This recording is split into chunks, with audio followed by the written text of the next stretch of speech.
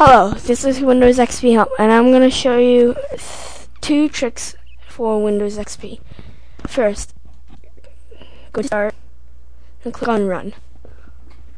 Then, type in um, OSK.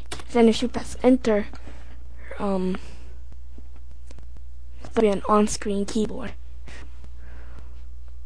If you want to type something, and like if you want to rename this movie, you could E R T Y G something. Okay, so the last trick I'm gonna show you is um how to um change someone's password. Well, I already showed you guys before, I think, but I want to show you guys again.